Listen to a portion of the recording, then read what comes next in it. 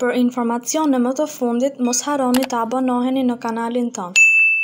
Aleksandër Vuçiç, Po ua them unë, këta dy politikanë në Kosovë, do ta formojnë Shqipërinë e madhe.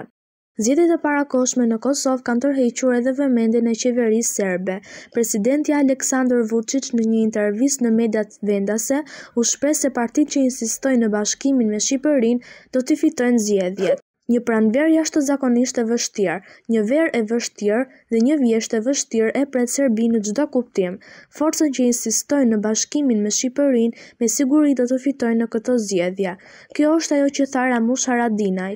Ai është një njeri i rrezikshëm që pret që Albin Kurti të ketë nevojë për një parti shqiptare, për një koalicion dhe po bën presion që të jetë atje dhe më vonë të zgjidhet president i Kosovës. Atëherë, Ata do të kishin atë koalicion për Shqipërinë e Madhe, tha Aleksandër Vuçiç.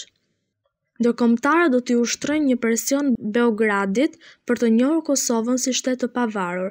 Sipas Aleksandër Vuçiç, Perëndimi do të kërkojë njohjen e Kosovës për të parandaluar formimin e Shqipërisë së Madhe. Kjo është arsyeja pse është e rëndësishme të përpiqesh të ruash forcën e Listës Serbe, por gjithashtu të përgatitesh për presione të rënda.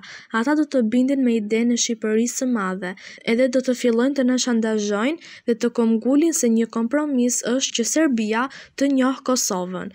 Duke iu referuar deklaratave të fundit të politikanëve në Kosovë, Aleksandër Vuçiç tha se nuk i frikësohet zyrtarëve të Prishtinës, por ndikimit të ndërkombëtarëve. Për informacione më të fundit mos harroni të abonoheni në kanalin tonë.